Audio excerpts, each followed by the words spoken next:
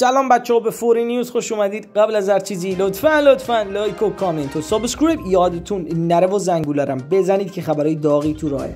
ساعت کشتی فینال میسم دلخانی امروز ساعت چنده؟ کشتی فینال میسم دلخانی در قهرمانی جهان کشتی فرنگی نروژ امروز یک شنبه یعنی 18 مهر حدودا از ساعت 18 به بعد از شبکه 3 در برنامه دایره طلایی پخش میشه. همچنین می‌تونید از اپلیکیشن تلویزیون ببینید که بهتون امکان دیدن به صورت آنلاین و پخش زنده رو میده.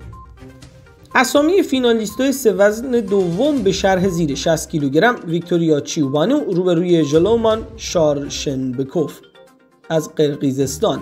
97 کیلوگرم محمد ساروی از ایران روبروی الکس زوکه از مجارستان و 130 کیلوگرم علی اکبر یوسفی از ایران روبروی زورابی گدخوری از روسیه.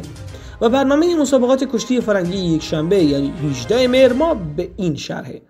ساعت 8 تا 8 و 15 دقیقه وزن کشتی مجدد وزنهای 63, 67 و 87 ساعت 16 تا 17 و 30 دقیقه مسابقات شانس مجدد وزنهای 63, 67 و 87 و در آخر ساعت 18 تا 20 و 30 مسابقات ردبندی و فینال وزنهای 63, 67 و 87 کیلوگرم کشتی فرنگی.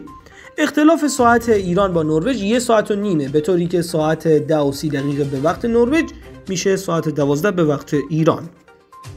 در ضمن اگر می‌خواید که حتما به صورت آنلاین ببینید می‌تونید از اپلیکیشن تلویزیون که مختص صدا سیما است بازی رو تماشا کنید و در شبکه سه در برنامه دایره طلایی هم به صورت پخش زنده مسابقات پخش میشن. ممنون که تا آخرش ما بودید. ما هر روز با 5 الی 25 خبر یه دقیقه این کانال رو آپدیت می‌کنیم. پس اگه از این دسته از محتوا خوشتون میاد لطفا like و کامنت و subscribe یادتون نره و زنگوله بزنید که خبرهای داغی تو راهه.